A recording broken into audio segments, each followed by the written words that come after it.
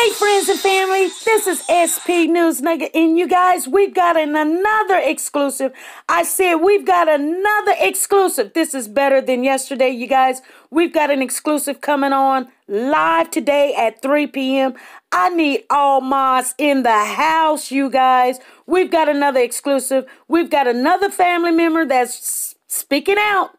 This is on the cupcake case. You guys, I need you all to come on in there and let's see what this family member is saying. This family member is speaking out on the Derica Brown or Derica Jackson, whatever you want to call her. We're going to be in the house.